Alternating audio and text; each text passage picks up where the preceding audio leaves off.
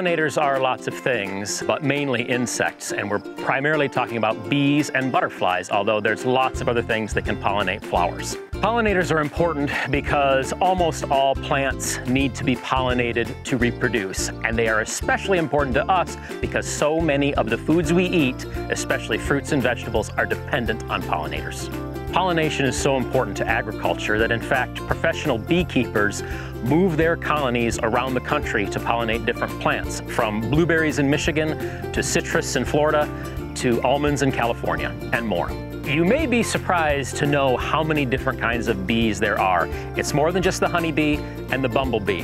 In fact, in Michigan, there are hundreds of different kinds of bees, and in the United States, there are 4,000 different kinds of bee. Michigan is one of the largest producers of fruits and vegetables in the United States. And because fruits and vegetables are dependent on pollinators, pollinators are critically important to Michigan's agricultural economy, and it is necessary that we protect them. When commercial beekeepers need to move their colonies to other states to provide pollination services, our inspectors are there to inspect those colonies for diseases and invasive species to make sure they can be moved safely.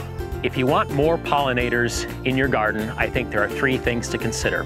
First is planting a range of nectar-producing native plants to attract them.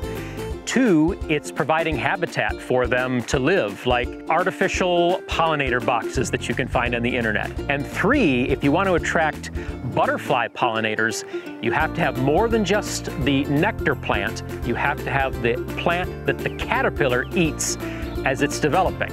For example, for a monarch butterfly, it's a milkweed plant. Another step people can take to protect pollinators is the careful use of pesticides. If you need to use pesticides to control insects uh, in your lawn or garden, just be sure you're using pesticides that are the safest possible for pollinators. If you need to use pesticides to ensure that you're using them as safely as possible for pollinators, first, contact Michigan State University Extension for a recommendation, and second, follow the label directions. For more information on pollinators, contact Michigan State University Extension. Thank you for watching.